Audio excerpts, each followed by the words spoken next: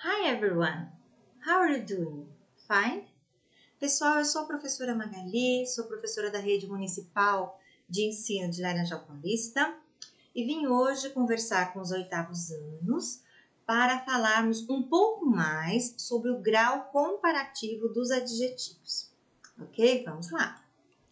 Pessoal, os adjetivos no grau comparativo, eles subdividem-se em dois grupos. Adjetivo curto, que é aquele que possui uma ou duas sílabas, e adjetivo longo, que é aquele que possui mais de duas sílabas. É interessante sabermos disso, porque as regras do grau comparativo, elas elas estão todas ligadas a esse tamanho do adjetivo. Se é curto, é uma regra, se é longo, é outro tipo de regra. Se o adjetivo for curto, ele irá para o grau comparativo com acréscimo do sufixo er. Então a frase fica segui na seguinte estrutura: adjetivo mais o er mais o than. Então, no, no exemplo, ficaria assim: Paul is taller than John.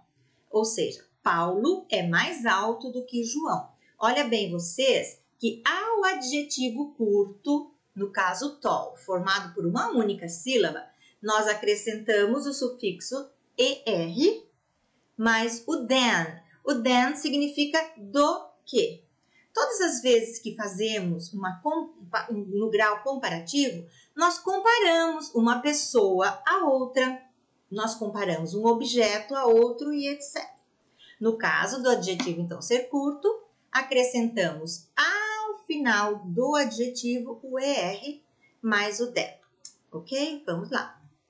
Pessoal, há algumas observações a considerar em relação aos adjetivos curtos.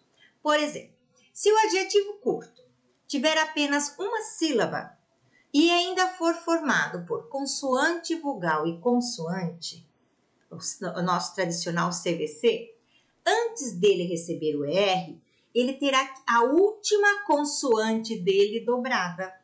É o caso do big, ó, consoante, vogal, consoante, além de ser um adjetivo curto, formado por uma única sílaba. Neste caso, antes de você acrescentar o R, olha o que aconteceu. Nós dobramos a consoante final. O, é, o exemplo disso na frase fica: São Paulo is bigger than Laranjal Paulista. São Paulo é maior do que Laranjal Paulista. Pessoal, mas nem todos os adjetivos curtos seguem essa mesma regra. Nós temos aqui, olha, alguns adjetivos que eles são que nós chamamos de exceção de regras. Eles têm o próprio comparativo de superioridade.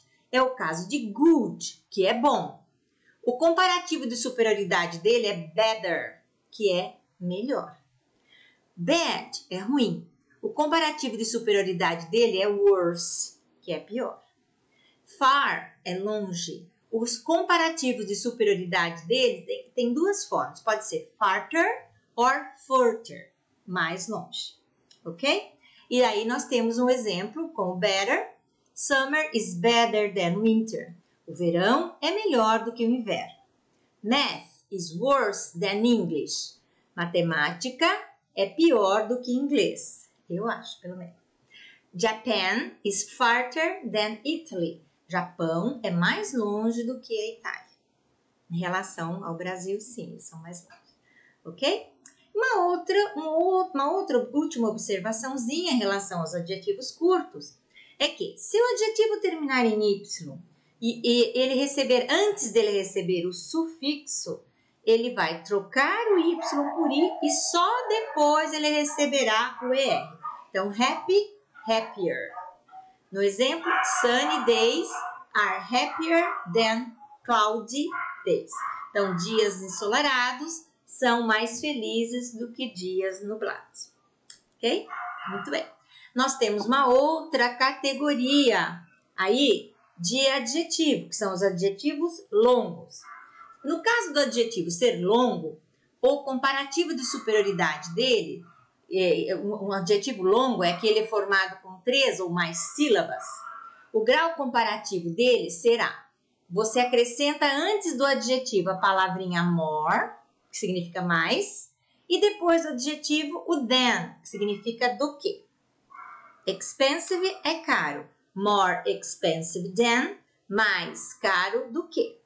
Ok? Exemplo: a Ferrari is more expensive than a Fusca. Uma Ferrari é mais cara do que a Fusca, do que um Fusca. Gente, olha bem, aqui nós usamos outra regrinha porque adjetivo, esses adjetivos são longos, adjetivo de mais do que três sílabas, de três ou mais que três sílabas, ok? Diante disso, vamos ver agora os nossos, as nossas atividades. Vamos lá.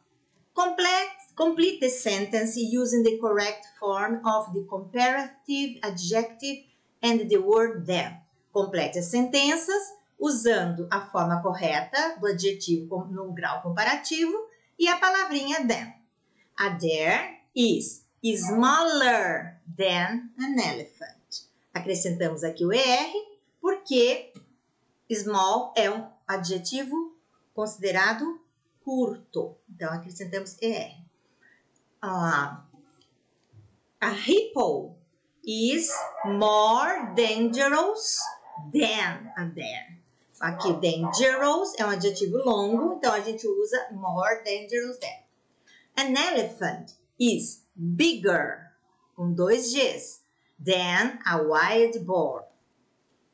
Um, there, a there is shyer than a baboon.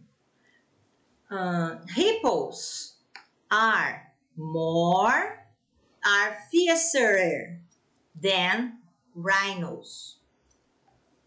Uh, the African lion is stronger than the Asian lion.